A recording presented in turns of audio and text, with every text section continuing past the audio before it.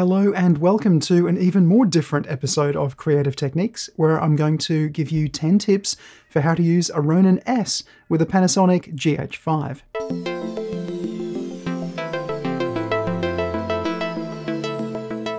Tip number one is to get to know the focus controls on the Ronin S.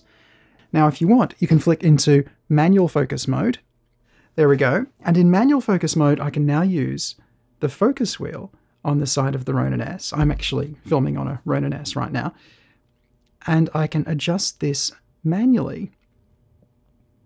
If you've got focus peaking, you can then get to a pretty good position and you know it's not going to go in or out of focus. It's not going to hunt for focus.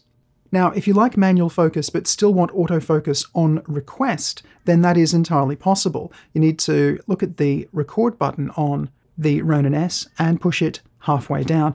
So if I move quite close, I can focus on request, move away,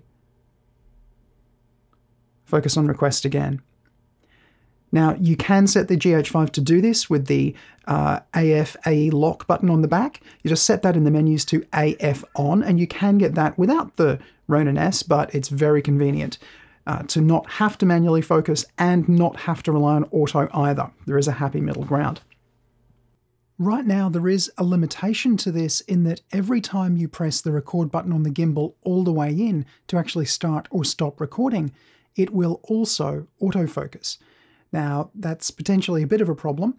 Obviously, you can manually focus after you start recording, but just be aware that it could be a little bit of an issue. I'd like to see the little button that's currently unused in this mode, that's on the side of the follow focus, potentially used to autofocus on request in the future. All right, number two is uh, to get yourself an L bracket.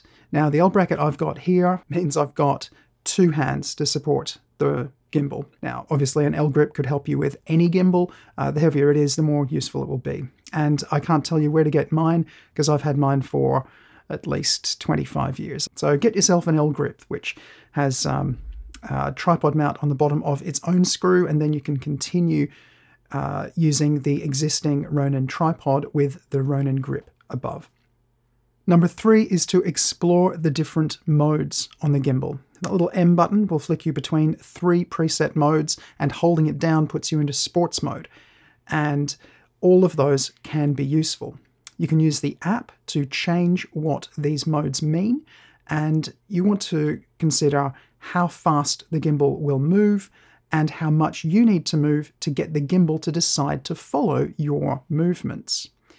Sometimes you want the whole thing to move quite slowly, but to stay quite tracked to your movements. Sometimes you want it to move quickly, but be resistant to moving in the first place. You'll need to experiment to get these right. And you'll also want to probably dedicate a mode to let you use the infamous roll system which can be really fun, but also is a bit of a party trick. Now, that roll mode is cool, and it is worth using from time to time, but you need to be aware of a limitation, and that's that the gimbal isn't necessarily going to be rotating around the center of the lens.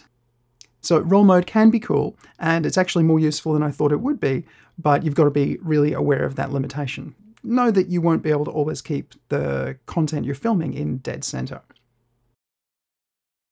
One other thing you'll want to activate in the menus is push mode.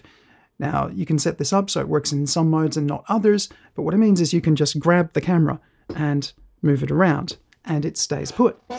There we go. Still out of focus because I'm in manual focus mode, but this is a really nice way to readjust the gimbal. It means that you don't always have to rely on the joystick and you can get some pretty good results without too much effort. The Ronin S can be used for time lapse in a couple of ways, either letting you position the camera where you want it, or keeping the camera steady in a hyperlapse. Now, both of these work fine and they don't need the Ronin app to do it. Just set the camera to its time lapse mode, keep the Ronin S app out of it. I've found it to be a little unreliable in the time lapse mode. Alternatively, you could just record VFR video, variable frame rate, at 2 frames a second. And both of those will produce a really nice, steady time lapse.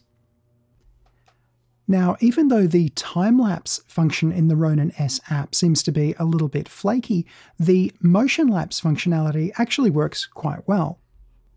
With the app, you can set two or more positions which the gimbal will move the camera between, and it will also trigger and control the camera to take stills along the way.